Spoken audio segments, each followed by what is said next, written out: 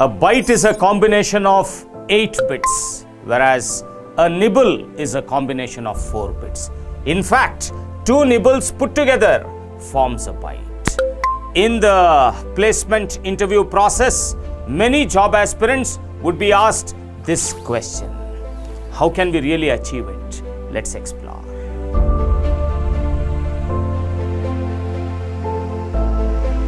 Swapping the nibbles in a byte is a simple five step procedure. In the first two steps, I'm going to segregate the left and the right. And how do I achieve it? I'm going to make use of the AND operator for it. In the next two steps, I'm going to swap the left and the right nibbles. And how do I achieve it? I am going to make use of the left shift and the right shift operators. And then in the last step, I'm going to join the nibbles and obtain my new byte. And how do I do that? Using the OR operator. Confused? Let me explain. Let me begin by creating a byte type variable. Internally in the memory, one byte space gets allocated. And just in case I'm going to initialize it to 43, then it would be stored internally in the form of zeros and ones like this. All of us know that a byte is made up of two nibbles. All that I have to do in this program is to swap the nibbles. And how do we do that? By applying the five step procedure. So let's begin applying the procedure step by step. The first step would be to extract the right nibble from the byte. And how do I do that? I just have to AND my data with hexadecimal 0f. Let me explain. This is my data 43. This is hexadecimal 0f. I have to AND them. And you know the way the AND operation behaves. If and only if both the inputs are 1, the output would be 1. And in all other cases, the output would be 0. Applying the AND, this is the result that I get. And if you would carefully notice the result, you would realize that all the bits of my right nibble are preserved as they are. In fact, if you even more carefully notice the output, you would realize that the bits of the left nibble are all zeros. This goes to show that I have been successful in extracting the right nibble from my byte. In the second step, I'll have to extract the left nibble.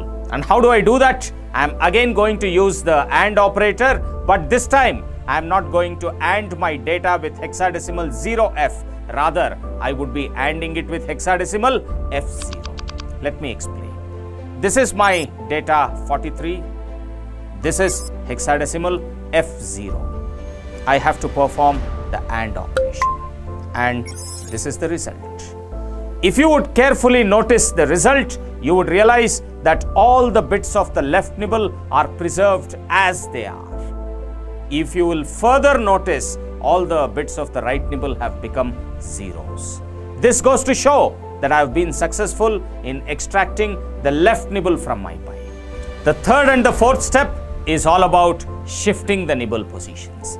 In the third step, I am going to take my right nibble and shift it to the left by four positions. And when I'll apply the step, this is what happens. In the fourth step, I am going to take my left nibble and shift it to the right by four positions. And when I'll apply it, this is what happens. So, I've been successful in swapping my nibble positions. The final step is all about combining the nibbles and obtaining a new byte. And how do I do that? I would be making use of the OR operator.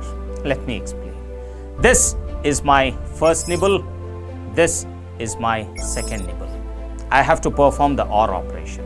And you know the way the OR behaves. If and only if both the inputs are zeros, the output is going to be zero, and in all other cases, the output would be one. If I'll apply it, this is the result. If you would carefully notice the result, you would realize that we have been successful in swapping the nibbles. Hope you realize that.